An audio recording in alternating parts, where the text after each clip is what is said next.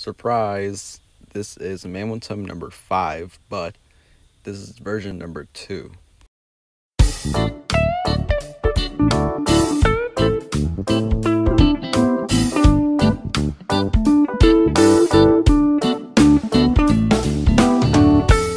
Let's start off with some cool or boo action. Alright, first we got SCP-173, and the reason I covered its eyes is because if you look at it, it is definitely going to kill me, so I'm just going to give it a boo. Alright, for the first time we have a meme, and this is the first one we got. My social life in a GIF. Not too bad, I guess it kind of relates, so I'm just going to give it a cool. And finally, we have another meme, post-workout. And I guess it kind of relates, I don't know. I just can't really see what it's trying to, um, like, what's the message here? I just don't get that. The meme isn't really expressing anything, but I can kind of at least attempt to see it, so I'll just give it a meh.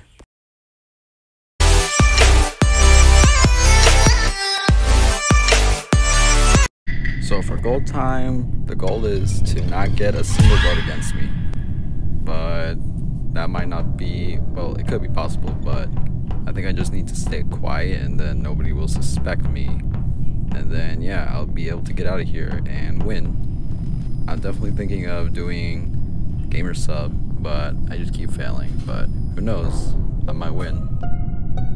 I have an announcement that pretty much due to, you know, stuff I'm dealing with, school, I don't know, whatever you want to call it, my animation video will be pushed back a little bit towards mid-June or something, so probably like June 21st or something like that, or maybe even July.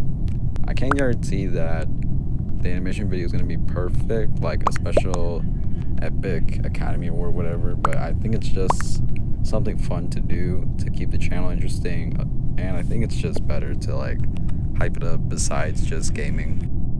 That reminds me that next week I will be releasing another InShot lesson because I feel bad for those months that I passed by without even thinking about it, so I definitely need to get work on that. Since I saw the BattleBots from last time, it makes me pretty interested and curious about who's going to win this championship. But we'll just have to wait and see. Personally, from BattleBots, my favorite robot is Bite Force, but since they're not competing, I guess I can't use them right now. Okay, I'm gonna play a trick on this person. My favorite right now is Whiplash. Okay, bye-bye. oh man, that was so funny. Like, come on, I'm pretty sure you guys are laughing right now at the screen. No? Okay, you guys are probably not laughing, but yeah. Some people might ask me if I get bigger, why'd you chose to be a G-rated channel? I just personally believe that we should just be friendly.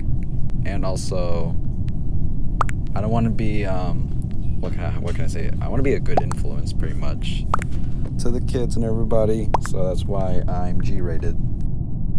However, my animation video that's coming out, I do have plans to use some sort of like lasers and all that kind of stuff. You know, like Star Wars themed or something. It kind of has an idea like that, similar to like Lightyear. So it might become PG Eh, but I'm not too worried about it since it's just an animation. It's not like like real or whatever. Okay, well, I just lost.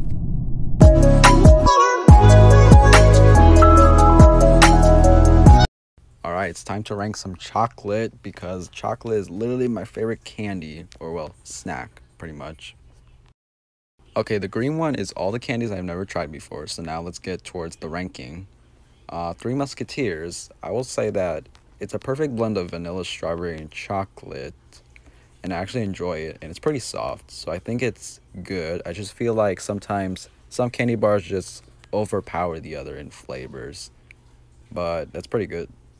So, Baby Ruth, eh, I don't know.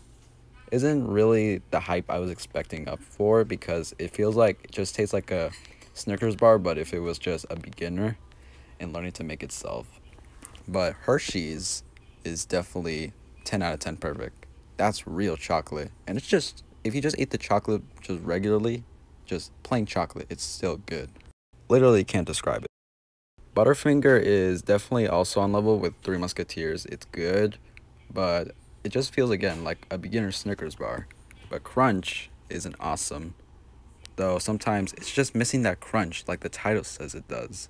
So really, I can't really put into perfect just yet. But Kit Kat, uh, we all know Kit Kat's gonna be on the top tier since, of course, it tastes good and it has a good crunch. Also, Milky Way is also gonna be awesome because I feel like the caramel blends well with the chocolate, just sometimes the caramel gets too gooey. Mr. Goodbar is also gonna be on good, for the same reasons, just being kind of generic. Snickers and Toblerone are also masterpieces that really can't be further described. Snickers is the perfect way to do caramel, chocolate, and nuts. That's how you do it. Toblerone, I haven't tried it in like a long time, but man, that chocolate is just something legendary. It's way different and unique from Kit Kat, but still, I would agree on the same level. It's just good. Twix, uh, it's kind of hard for me to categorize this thing. It's kind of unique in its own way, but I think it's awesome simply because why is there a left and a right? You guys never should have separated. But I personally like right Twix more, but I don't know if they're the same. But still, it's just missing something from being perfect.